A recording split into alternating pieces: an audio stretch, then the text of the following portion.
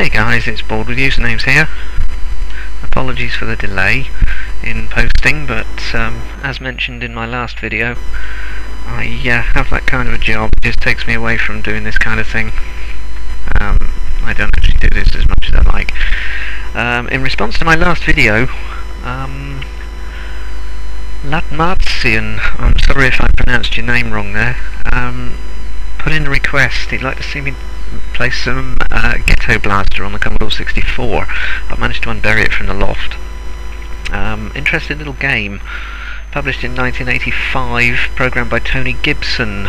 Um, music was by Mark Harrison. Very, very unusual game. Um, as you will see when it loads up here.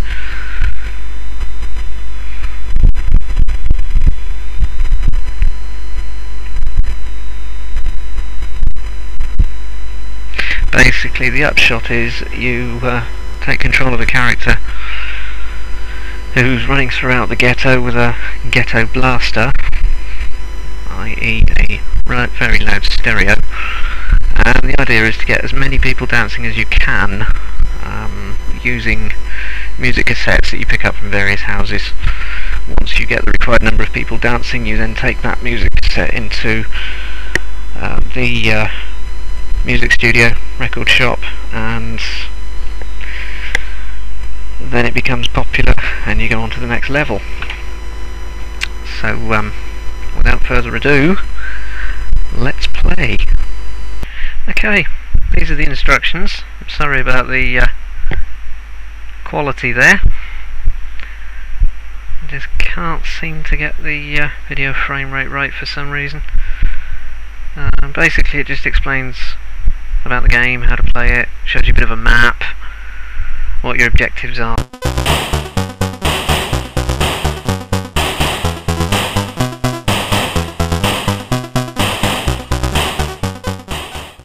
And there's the intro screen, complete with uh, funky background music. Bottom half of the screen set up to look like a Ghetto Blaster with a cassette player. Yes, I did say cassette. Uh, volume control on the left, batteries level is on the right and the top half of the screen is where you play. You start out the game with no tape and no batteries. First thing you need to do is go find an electrical store and then in this game any cassette tapes that are potentially successful will be indicated by flashing doors. So right opposite the store that's where you get some batteries and over here a flashing door and there is a cassette. Crank the volume up and play. Now you just got to go find some uh, street people, aim towards them, press fire and they will start dancing. And that's your first level done. Now you need to go find another cassette. Worth remembering where all the stores are for repairs because you do get maniacs in this game that attack you Ichiku Park, where you can eat the mushrooms. Just like that. Complete with um, facilities. Yes, you do get uh, nutters in this game uh, that attack you, break your stereo uh, completely beyond repair or just break it where it needs repair. You get policemen that arrest you, you get all sorts of things to hold you up. Um, the most frustrating thing I find about this game is running around trying to find a flashing door with a cassette. You can run around for a very long time just finding somewhere to pick up a new cassette. As you can see, there's one. There's another one. There we go. Now we just need to find some uh, more people. Very odd map this one as well. First part of it here, the main part, is just one big loop. So as you keep going right or left, it automatically loops up and around in a circle.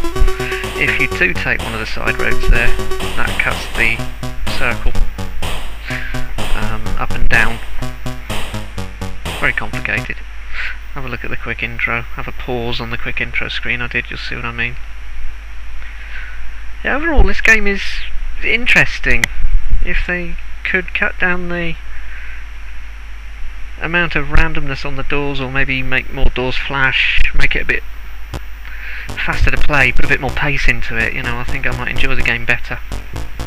But, um, yeah, I, I do like this game. It's got, for the time that it was programmed, it's it's got some great potential. But it is just so frustratingly slow to play. But, uh, yeah, yeah, thanks to laatmaarzien for suggesting this one. It's um, a long time since I've played it. I can understand why I didn't play it so much, what with the slow pace and everything, but yeah, it's quite enjoyable.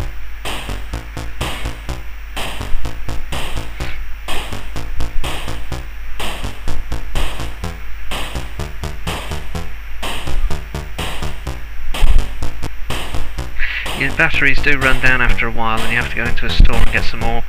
If your batteries run out in the middle of where you in the middle of where you're trying to get people to dance, then you'll lose all of the people that you've managed to get dancing and you have to start again. Um, if you manage to top your batteries up before they run out, then you can just carry on as normal.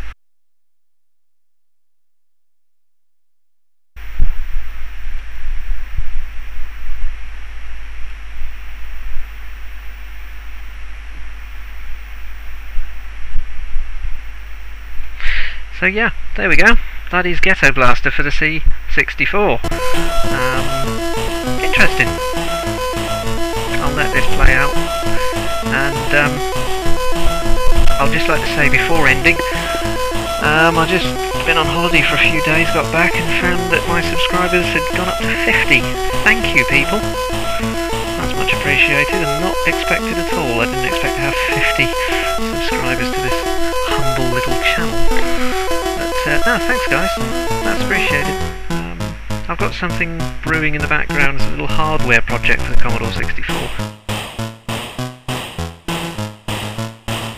Might be wondering how I uh, transfer a lot of this onto an emulator from uh, an original 1541. Well, I will be showing you in the next series of videos, hopefully, if all goes well. I'll post a video after this telling you that it didn't go well. Anyhow, this has been Ghetto Blaster for the Commodore 64, as suggested by laatmaarzien. Again, I'm sorry if I pronounced your name wrong. Um, so I'll let this play out, and uh, see you in the next video.